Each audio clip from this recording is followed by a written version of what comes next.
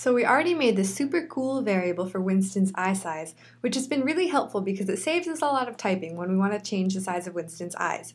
Remember, before we had to type the same number four times whenever we wanted to change the size of his eyes. But can we use variables to replace numbers when they're not all the same? Like what if I wanted to move Winston over a little bit?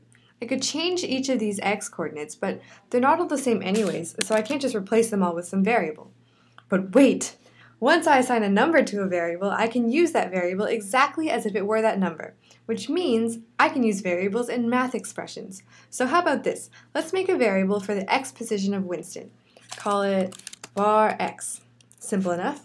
Okay, now let's give it the value of the x-coordinate of Winston's face. So his face is being drawn at x-coordinate 200. So I'm going to say var x gets 200.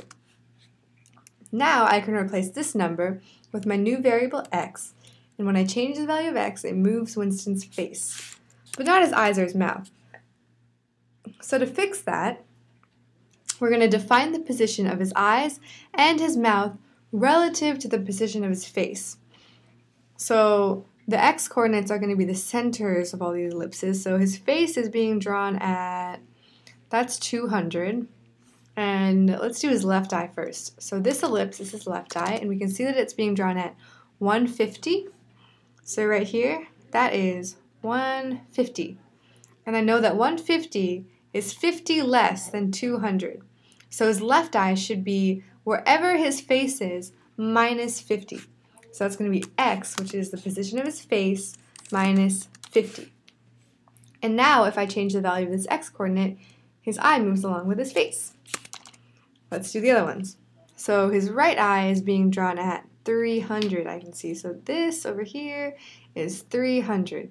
And 300 I know is 100 more than 200.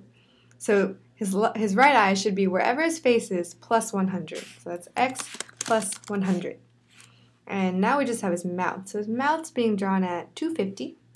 It's over here. We got 250. And 250 is 200 plus 50. So it's going to be wherever, ooh, that's a 5. Wherever his face is, x plus 50. And now I'm going to get rid of these scribbles. Whenever I change the value of x, it moves his whole face. Yay! Now before you go, you should know a couple more things about variables. Once you create a variable using var x, you can assign a value to it as many times as you want. So after giving x the value of 198, I could say x gets 300 or x gets 150. And from then on, the computer would treat x as if it were whatever we last assigned it, so in this case 150. But you only need to type var once per variable.